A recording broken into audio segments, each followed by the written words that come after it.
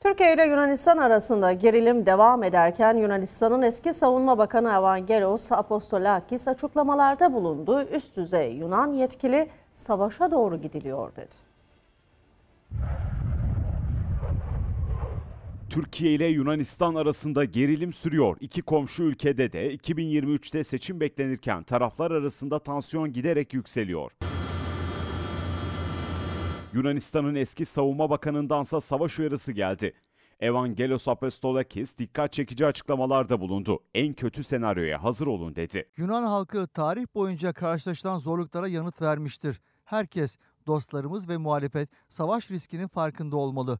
Yunanistan başka bir ülkenin meclisi karar aldı diye egemenliğini değiştirecek değil. Girit'teki kıta sahanlığını 12 mile çıkarmak harika bir yasal cevap olur. Apostolakis Türkiye ile görüşmelerde 12 mil konusunun sürekli masada olması gerektiğinin de altını çizdi.